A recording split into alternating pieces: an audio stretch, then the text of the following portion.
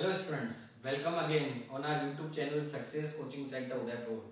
So आज जो मैं मेरा जो वीडियो स्टार्ट करने से पहले या जो भी इंफॉर्मेशन देने से पहले एक ही लाइन बोलूँगा अब की बार 80 के पार. दैट मीन्स आपके परसेंटेज जो है वो 80 अबो आ सकते हैं. जिन बच्चों ने लास्ट ईयर एग्ज़ाम के एंड टाइम पे पढ़ाई की थी या फिर कुछ महीनों पहले ही पढ़ाई उन्होंने स्टार्ट की थी तो कहीं कहीं उनको दिक्कत आई थी। पढ़ने में मैंने कुछ प्लानिंग भी दी थी, लेकिन एंड मोमेंट पे जो तैयारी होती है, उसके परसेंटेज उसके मार्क्स कैसे आते हैं, ये जिन बच्चों ने इस बार एग्ज़ाम दिया था, उनको आइडिया लग जाएगा।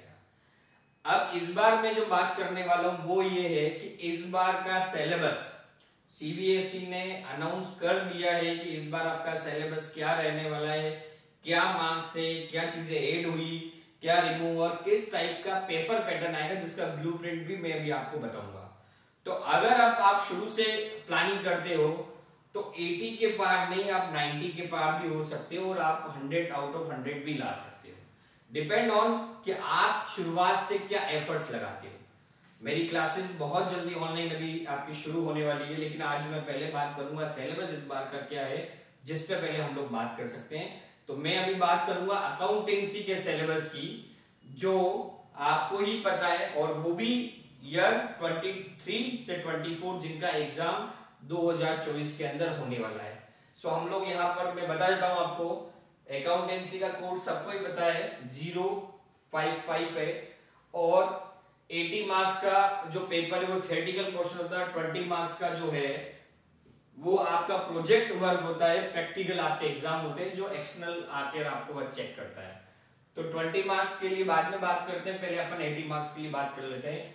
वही आपके तीन बुक वाला पार्ट है first part accounting for partnership form second part accounting for company and third part जो आता है, वो है फाइनेंशियल स्टेटमेंट एनालिसिस तो फ़र्स्ट पार्ट की मैं बात करूँ अकाउंटिंग फॉर पार्टनरशिप फॉर्म ये आपका 36 मार्क्स का है।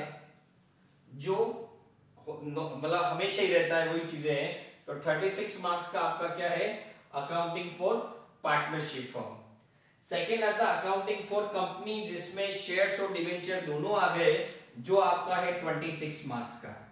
देन हम लोग बात करते हैं financial statement analysis first book accounting for partnership form second book accounting for company and third book financial statement analysis जिसके अंदर आता है एनालिसिस ऑफ़ फाइनेंशियल स्टेटमेंट जिसके अंदर फॉर्मेट्स आते हैं और फॉर्मेट के अलावा जो आपका रेशियोज हैं, वो भी इसके अंदर आता है, जिसको हम लोग टूल्स ऑफ़ फाइनेंशियल स्टेटमेंट भी बोलते हैं, वो आपका क्या है?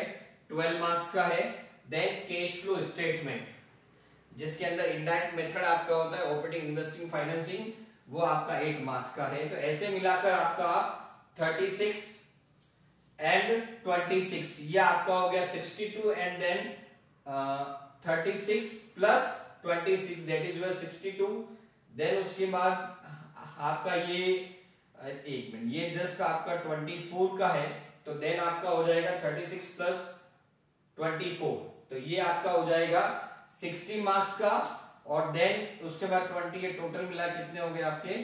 एटी मार्क्स के यहाँ पर हो गए। उसके बाद आपका प्रैक्टिकल है, जिसमें आपको एक प्रोजेक्ट फ़ाइल बनानी होगी, जो 12 मार्क्स का रहेगा उसी फ़ाइल के बेस पर आपके सब्जेक्ट नॉलेज के बेस पर आपका वाइवा होने वाला है, जिसमें आपके आएँगे 8 मार्क्स तो टोटल मिला के ये आपका प्रोजेक्ट जो है, वो आपका हो गया 20 मार्क्स का. तो ये चीज़ हमको ध्यान में रखनी है. इंपॉर्टेंट जो चीज़ है कि दो चेंज जो मेजर चेंजेस है, या माइनर चेंजेस है, जो भी आप समझे बट चेंज हुआ है इस बार में पहला चेंज ये था लास्ट ईयर हम लोग गुडविल के ट्रीटमेंट के अंदर करते थे रेस करके गुडविल राइट ऑफ़ करते थे। पहले पुराने पार्टनर में, फिर नए पार्टनर में। वो कंसेप्ट अब खत्म हो गया है, अब हम गुडविल को रेज और राइट ऑफ़ नहीं करेंगे। इवन बुक में भी दे रखा है तो भी हम लोग नहीं करेंगे। सीबीएसई की तरफ़ से अब ये अनाउंसमेंट हुआ सर्कुलर जारी हुआ है कि अब रेज राइट ऑफ़ वाला नहीं होने वाला है। देन उसके बाद दूसरा टूल्स ऑफ़ फाइनेंशियल स्टेटमेंट के अंदर एक, ये जो चीज़ें एड हुई है, जो पहले भी थी, लेकिन बीच में एक साल नहीं रही, इस बार वापस comparative and common size statement जो है, वो एड हुआ है, जिसको हमें हमें पढ़ना है। तो ये दो जो है, वो चेंजेस हुए थे, जिसको मैंने यहाँ पर आपको कवर किया देन हम बात करें कि पेपर पैटर्न किस टाइप होगा, क्या ब्लूप्रिंट रहने वाला है तो वहाँ वो भी सीबीएसई e ने जारी कर दिया है, ध्यान से समझिएगा।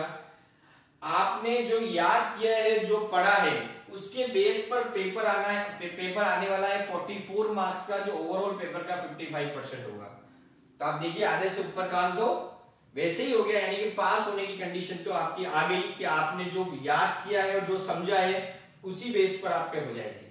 सेकंड जो इंपॉर्टेंट चीज़ है वो है यहाँ पर अप्लाई करने वाली बात। यानी कि यहाँ जो क्वेश्चन आने वाले वो है कंसेप्ट बेस्ड आपके कंसेप्ट जो है, वो कितने क्लियर है? क्वेश्चन सीधे नहीं आने वाले हैं। थोड़ा आपको अपना नॉलेज और आपका कंसेप्ट क्लियर अकाउंटेंसी के अंदर इसलिए बोला था कंसेप्ट क्लियर होना चाहिए क्योंकि सीधे सीधे क्वेश्चन नहीं आए।